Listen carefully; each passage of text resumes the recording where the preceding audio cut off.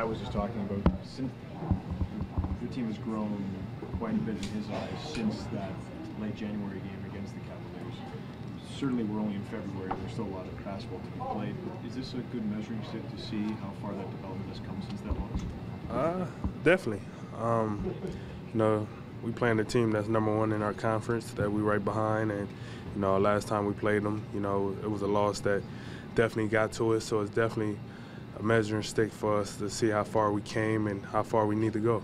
What's what's been something that's impressed you, just the way that the team, guess, rebounded, has developed, and has been all all told pretty, pretty successful since that loss? Um, it just it just shows shows what we're capable of doing. You know, once we you know be in a situation where we have to learn from playing against a, a, a top team like that and understanding what we have to do to be better to not let that happen again. You know, especially if we want to continue to be keep getting better.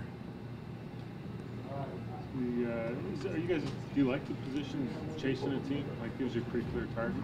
I wouldn't necessarily say we chasing a team. We more so trying to get every single game we, we, we could get. You know, and get better every time we step out there on that court. And if that if that comes with us, you know, surpassing them or whatever it may be, then that's what it will be. But we're not looking at nobody like you know we chasing them. So it's not like kind of part of your planning process.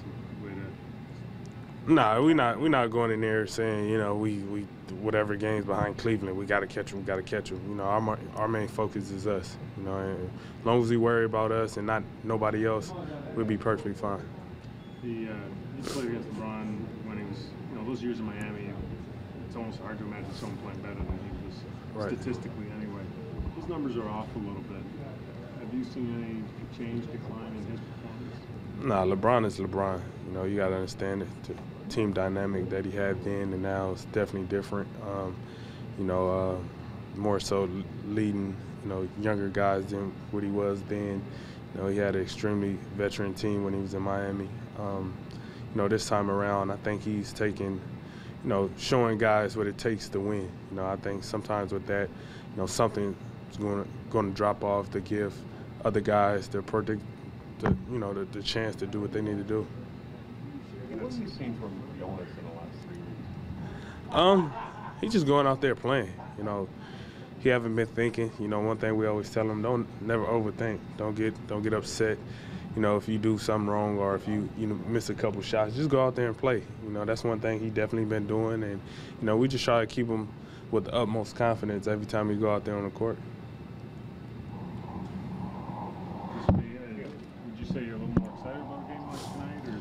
Yeah, these games are always fun. You know, um, so you're allowed to admit that? yeah, yeah. I mean, these games are always fun. You know, when you compete against top teams in this league, you know, if you're a competitor, you know, you'd be lying to you if they say these games wasn't fun and you look forward to it because you know the you know the crowd gonna be into it.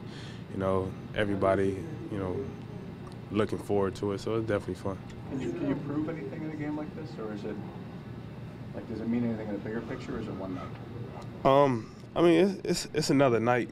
Like I said, it's, it's it's a chance to see where we where we are and playing against the best team in our conference, and you know, for us to go out there and compete and you know see what we got better on and maybe what we need to work on. You know, we still got a lot of basketball to play after them, and you know, it's another chance for us to continue to build and get better. People talk about the best teams in this league. You know, the list usually ends around four, right? There's right. three out west in Cleveland.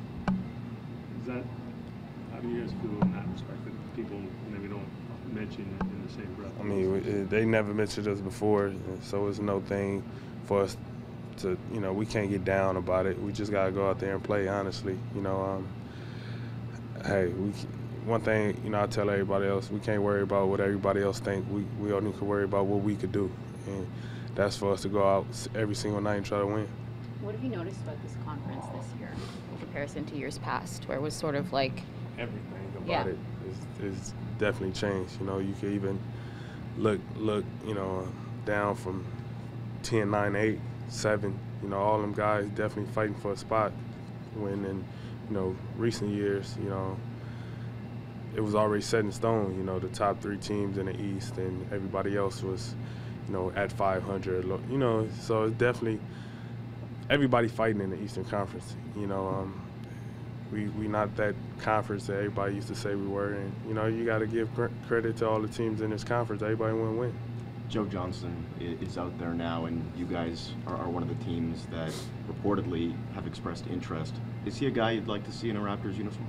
Uh, I mean, damn sure wouldn't want to play against him, um, but nah, but um, he's a great talent. You know, that's one thing you, you we leave leave up into the front office to make that decision if it best fits fits us. But you know, you can never deny talent, and you know, he, he's definitely one of the best two guards. You know, I ever played against, and you know, it'd be interesting to see what he do. You're at 500 games tonight, old man. Huh. 500 I played 500 games. Really? Y'all always tell me some new stats I, I have no clue about. I mean, uh, damn, 500. You Um, gray hair, yeah. Watch next year. I have a gray hair, so. but um, um, I mean, it's amazing, man. Especially for me, just to do it, you know, and, and, and you know have the the win, winning whatever record it is, you know, it's always great, man. Just to have something that could go down in record books that, you know, um, you, you could you could see years from now.